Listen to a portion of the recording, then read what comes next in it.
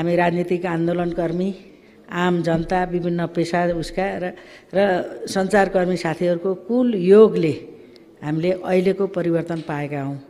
र हामीले भलै हामी आर्थिक सामाजिक स्थितिले अझै पनि धन्नै बिस प्रतिशत जनता गरिबीको रेखा मुनि छन् तर अधिकारको हिसाबले हामीले धेरै अधिकारलाई चाहिँ संस्था गर्न संस्थागत गर्न सकेका छौँ।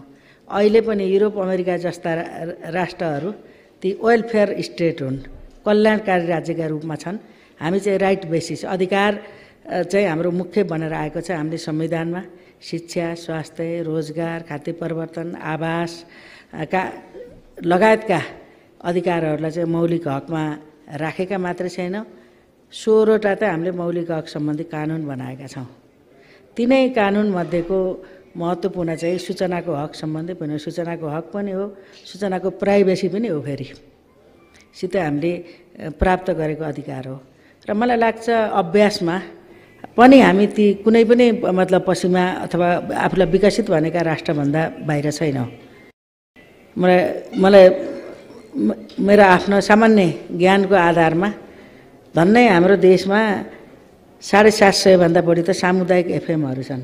यति धेरै मेरो विचारमा चाहिँ यहाँ मञ्चतिर हुने साथीहरूलाई नि त्यति धेरै सुवि अन्यत्र हुन्न र त्यसको पनि मौलिक भनेको के भने एफएमहरू धेरैतिर हुन्छन् मनोरञ्जनात्मकका लागि हुन्छन्।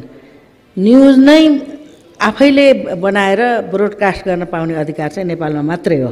अन्त के हुन्छ राज्यले बनाएको न्युजसम्म ब्रोडकास्ट गर्न पाइन्छ आफूले पाइन हाम्रो त न्युजै बनाउन पाउने जुन ढङ्गको छ। त्यसैले हामीले सूचना सञ्चारका क्षेत्रमा विश्वमा भएको क्रान्ति हामीले हाम्रा हाताहातका मोबाइल चिप्समा मात्रै होइन जीवन व्यवहारमा पनि अभ्यास गर्न पाएको कुरालाई कतै पनि न्यूनीकरण गर्नुहुन्न। त्यसैले तपाईँहरू यो केबल टेलिभिजन व्यवसायी साथीहरूले गाउँ गाउँमा ठाउँ ठाउँमा पुगेर सहर बस्तीहरूमा पुगेर यहाँहरूले पनि राज्यले गर्ने राज्यले दिनुपर्ने सेवालाई निजी क्षेत्रले पनि दिएको छ। म त्यसलाई सम्मान गर्छु र हामीले देखेको हाम्रो नेपालको समग्र विकास समृद्धिको आधार राज्य निजी क्षेत्र र सहकारी भनेर तिन खम्बे नीति पनि हामीले संविधान त अवलम्बन गरेका छौँ। त्यसको चाहिँ एउटा राम्रो भरपर्दो चाहिँ यो टेलिभिजन क्षेत्रमा सञ्चारको क्षेत्रमा पनि राज्यले त्यही नीतिलाई अख्तियार गरेको छ। त्यसैले आज राज्यको आफ्नो टेलिफोन सेवा हुँदाहुँदै हामी त्यहाँ निजी प्रदायकहरू पनि हुनुहुन्छ। राज्यको आफ्नो टेलिभिजन छ तर निजीलाई पनि दिनु दिएको छ राज्यले। र अनि राष्ट्रिय प्रसारण मात्रै होइन साना साना मतलब सहरहरूबाट प्रसारण गर्ने टेलि केबल टेलिभिजन लगायतका विभिन्न छन्। अब सँगसँगै विज्ञानको प्रवृत्तिले सबैका एउटा हातमा एउटा मोबाइलका चिप्समा संसार छ। त्यसको नियमन कसरी गर्ने अनुगमन कसरी गर्ने नियन्त्रण कसरी गर्ने का आदिबारे पनि चुनौतीहरू छन्। जसको अलिक बढी सामाना चाहिँ राज्यका हकमा पनि हुन्छ यो यस्तो सूचना यसलाई यसलाई नियमन र नियन्त्रण गर्ने कुरामा चाहिँ।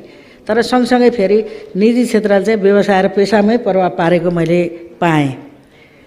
त्यसैले म यहाँहरूलाई के प्रतिबद्धता जनाउँछु भने यहाँहरूका पेसागत जीवनमा परेका समस्याहरू चुनौतीहरू त्यसलाई चाहिँ राज्यले सरकारले सकारात्मक ढङ्गले ग्रहण गर्नेछ। मैले पनि नेपाल सरकारको मन्त्रीको हिसाबले चाहिँ मैले सकारात्मक ढङ्गले लिन्छु र संवादद्वारा यसलाई समाधान गर्ने कुराको पनि मैले यहाँहरूलाई विश्वास दिलाउँछु। हरेक नागरिकलाई हरेक खबरबाट हरेक पल सुसूचित गराउने हाम्रो अभियान जारी छ। हरेक पल टिभी एचडी सब्सक्राइब गर्न नभुल्नुहोला। नमस्कार।